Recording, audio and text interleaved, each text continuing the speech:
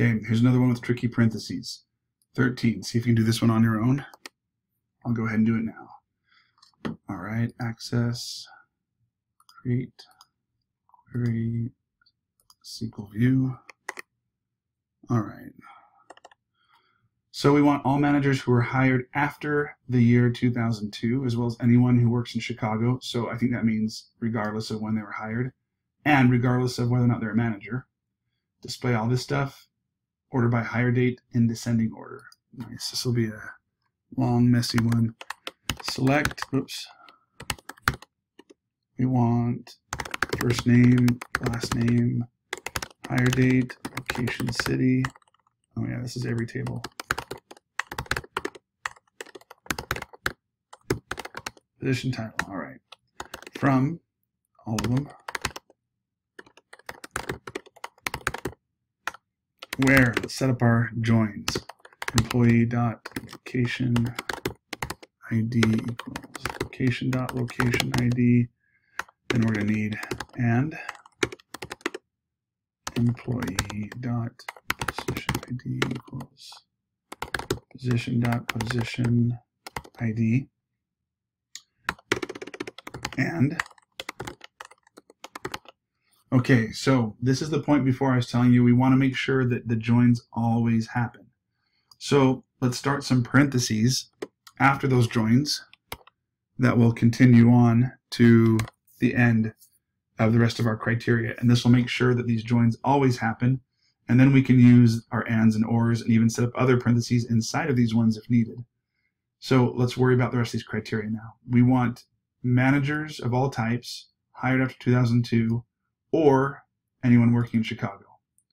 All right, let's start with this one. So let's say and position title like manager. Um, and they have to be hired after 2002 for this one.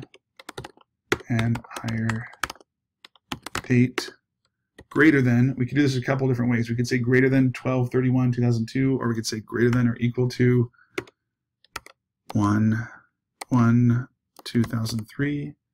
Either way, it'll work the same. Okay. Or uh, location city equals Chicago. Okay, let's double check. Oh, I gotta do my, let's not forget the order by. Order by hire date descending order. Okay, so we're good here. Join's always gonna happen. Next, it's going to say those two have to be true. Oh, sorry. Those two have to be true, or that has to be true. I'm pretty sure that's what they mean. All managers hired after 2002, as well as anyone, regardless of their position title or hire date, who works in the Chicago office. Let's delete that, try it out. Okay, let's double check. We have um, anyone in Chicago, they're each listed once, regardless of their position or hire date, because some of those are before 2002, and these ones aren't managers. Perfect or um, we want those who were both hired after. Now, uh, I think I've got a problem here because it's supposed to be any manager who was hired after 2002, and here I've got a manager.